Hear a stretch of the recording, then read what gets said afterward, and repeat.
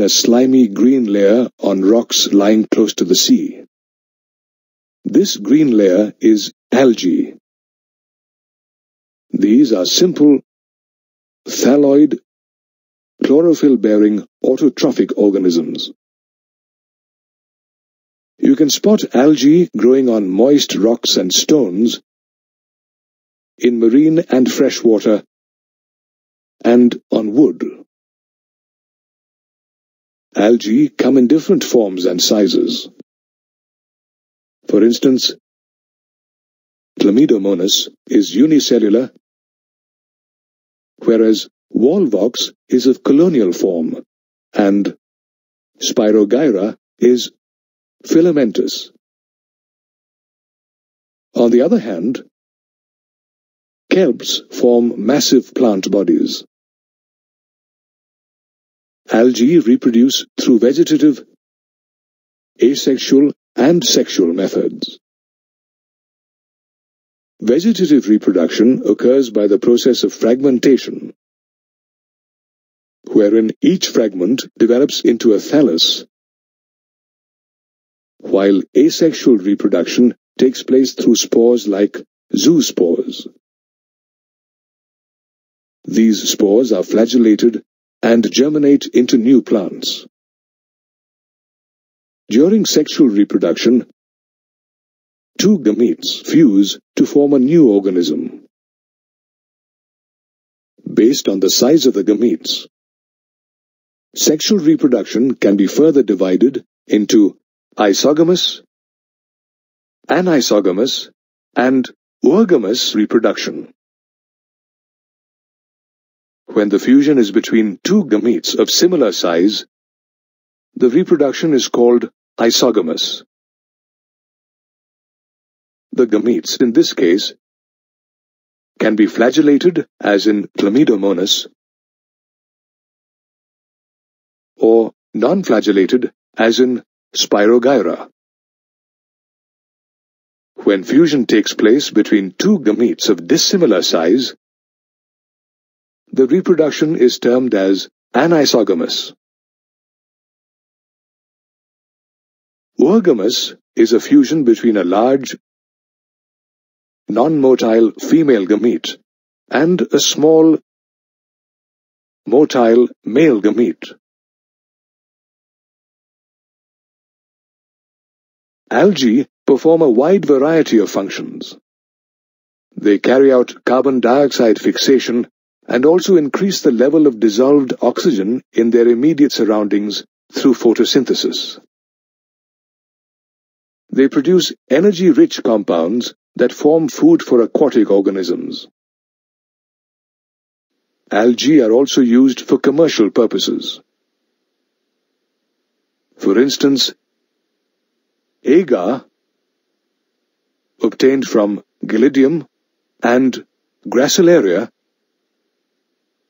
is used to prepare ice creams and jellies. Based on the type of pigment and the type of stored food, we can classify algae into chlorophyceae, phaeophyceae, and rhodophyceae. Chlamydomonas, Volvox, and Spirogyra are some members of the class Chlorophyceae. They are commonly called green algae and can have a unicellular, colonial, or filamentous body.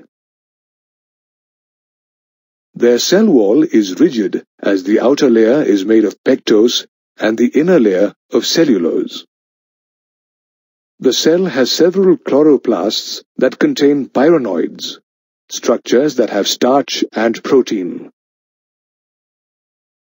In definite chloroplasts, you can find the localized pigments chlorophyll A and B that give the algae the color of green grass. Green algae can reproduce vegetatively through fragmentation and asexually by flagellated zoospores as well as sexually.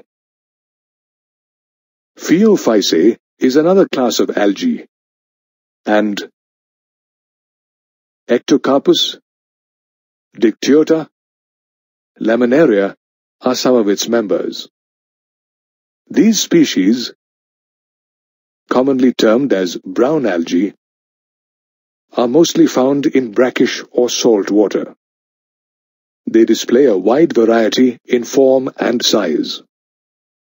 For instance, Ectocarpus displays filamentous form,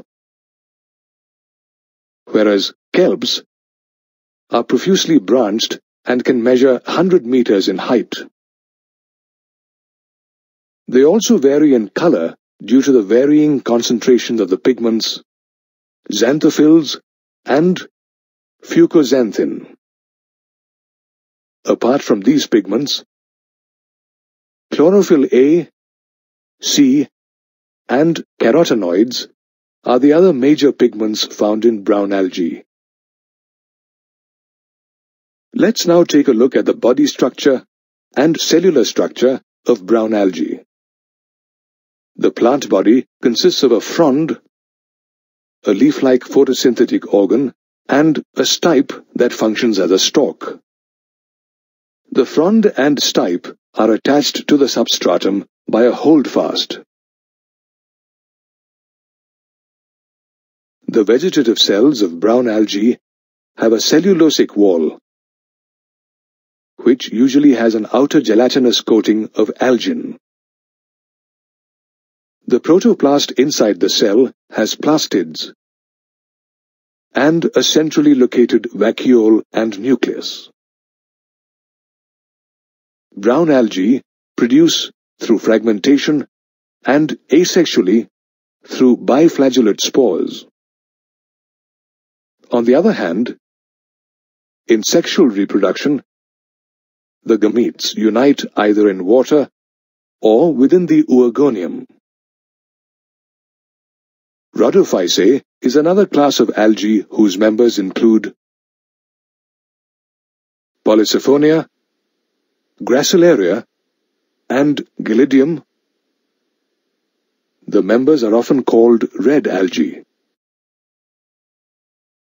The red color is due to a high concentration of the red pigment R.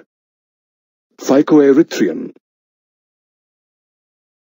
The thalli of red algae are multicellular, and food is stored as Floridean starch inside the cells. Red algae are found in brackish and salt water, and mostly in warmer areas. Red algae reproduce vegetatively, asexually through non-motile spores, and sexually through motile spores. Thus we have seen that there are a variety of algae that thrive in the aquatic habitat.